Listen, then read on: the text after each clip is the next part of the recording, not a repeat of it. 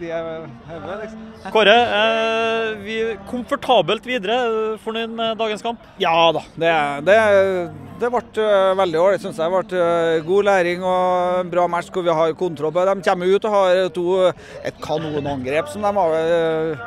De brukte tre sekunder på angrepet, så smelte meg inn i krysstanga, så det var fantastisk. Men når vi fikk skåra, så fikk vi bra kontroll på det. Så ble det veldig ålreit.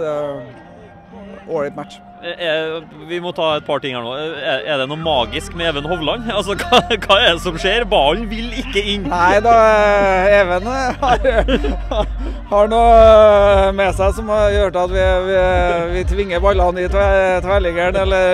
Så det, det Men i dag så jobber guttene bra, og i dag så vinner vi og har kontroll på det stort sett hele veien. Så nei, jeg syns det, det, er bra. Ungguttene virkelig fortsette der de eh, var på Åråsen og jobber knallhardt. og da, da, er det vanskelig å slå.